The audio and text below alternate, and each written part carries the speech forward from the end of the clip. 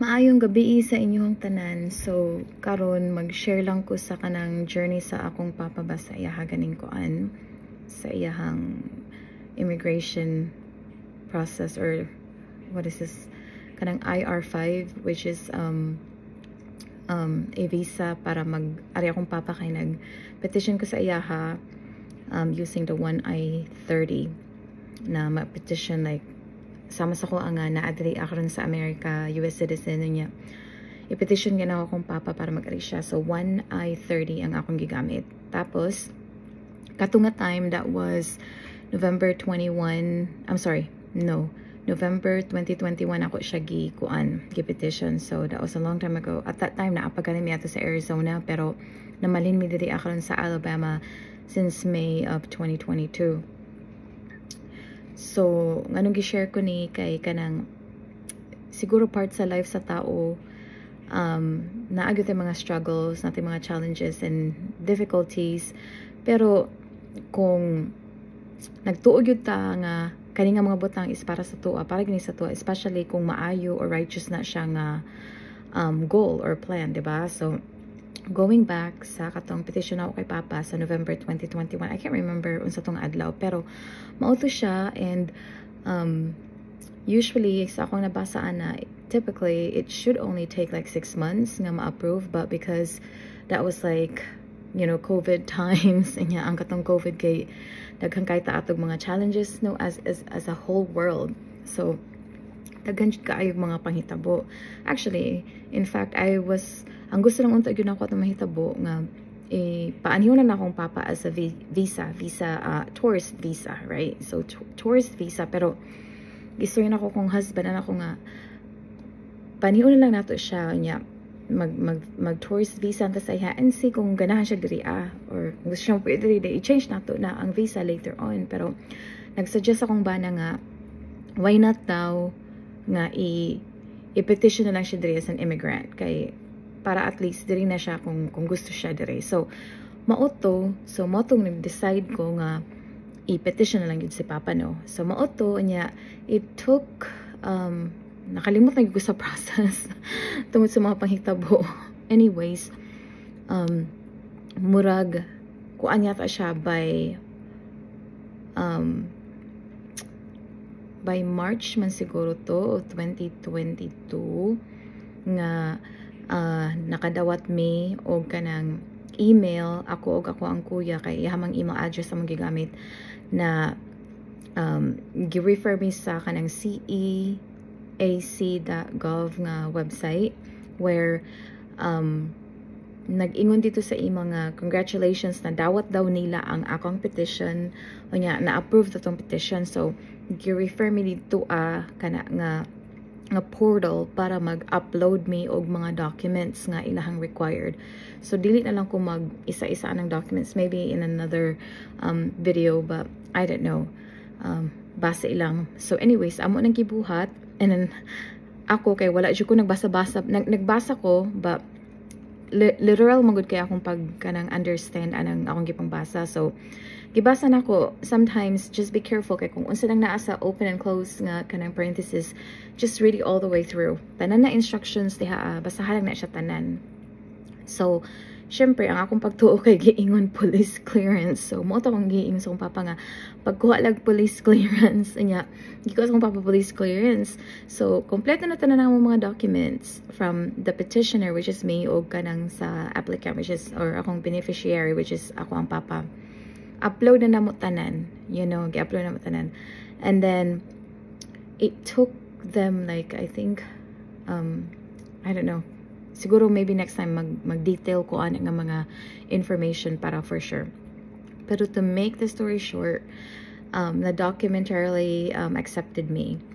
But before that happened nag-ingon sila nga naay mga documents dito nga dili to siya mao. So kinahanglan mag-re-upload ko. And one of those ang kato laging police clearance because even though they use the you know the term police clearance dili day siya NBI clearance. Day so nag nag ato na pud si papa ay hanap pud tong gi asi kaso so gi-upload na pud namo and then mo na to siya na kuan na siya na documentary accepted na siya after.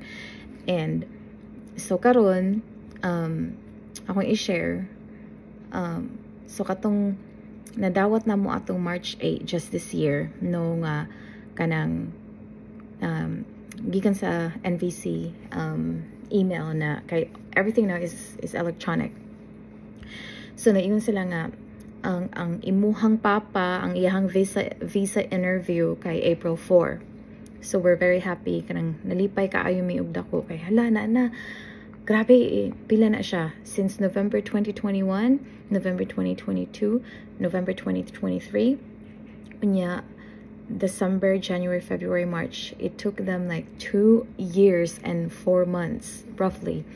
Nga kanang ilahang give review tanan ang mga papeles niya karon na na kitagaan na og visa interview si Papa schedule. But also sa instruction nag-ingon nga kinahanglan na magpa-medical si Papa sa St. Luke's two weeks prior sa iyahang visa interview.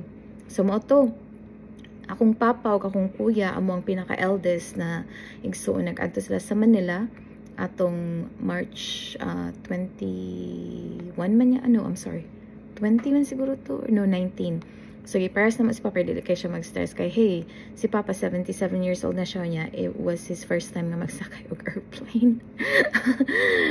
So but ang nahitabo sa St. Luke's kay nag uh, medical si Papa but unfortunately mga higala si Papa um, ang result ato kay gi-refer siya nga mag-sputum siya three times. Um, wala kay ko kasabot sa mga explanation sa akong kuya or sa akong papa kay giingnan lang daw silang mag-sputum si papa. And kung nga wala gi-explain sa doctor nga kanang unsa ang kanang result atong kuan x-ray nga kanang unsa naabay abnormality um, unsa murag wala lang basta gi refer lang daw sila mag-sputum daw si papa and the majority of the senior citizens daw dito sa St. Luke's kay mo lagi na gi um, gi-refer lagi daw dito sa kanang sputum dili lang si papa which is understandable and I understand na requirement na siya no kay syempre um, US is very strict which is fine pero mo na nakaron um, instead um, mo na ning i cancel ang visa interview ni Papa by September, um, I'm sorry, sorry, i-cancel na mo yung visa interview sa April 4. Kay ang iyang sputum na testing kay sa kuan man sa April 3, 4, and 5. So natunong gyud kaayo ba nga, you know, sa kana nga week. But it, it's, it's, it's a little over a week. But you know, um, we're praying. Um, we're gonna pray for him, continue praying for him nga kanang everything will be okay. So even though nga mauna siya ang amo ang na nabalita sa update ni Papa sa iyang journey sa iyang visa interview para mag-immigrate diri sa States.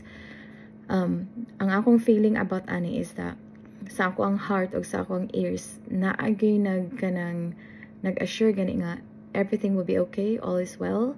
Um, you I just have to be patient. Mo lang gid siguro na but um we're hoping that everything will work out para kay Papa. And um I know na um you know, it, it's not going to be our will. It's going to be the will of the Lord. So um kabalupod ko nga anything, you know, that is impossible can be made possible. But is it going to be easy? No. Nothing is easy you know, ana gani si Jesus Christ na he he said that nothing is easy. I didn't say it is easy, but I know it is possible. So I'm just gonna leave that thought sa inyo hatanan na no matter how much struggle you have, unsa man ang ka-difficult sa life, and I understand that, and napo ko na tungo ko na balita sa akong friend na she is struggling kay mga challenges sa life sometimes that we don't understand but don't don't don't you know lose hope. Hilak lang hilak. Kung gusto ka mo syagit syagit lang. And ayaw siya ikim-kim you know but um, just just pray. And mo lang namong buhaton. So mao na siya karon. Kami ang amo ang mga ang among gipang paabot just April 3, 4, and 5. So hopefully in the next you know week or so we will find out kung unsa ang result ani. So wish my papa luck na everything will be good. Have a good night, everybody.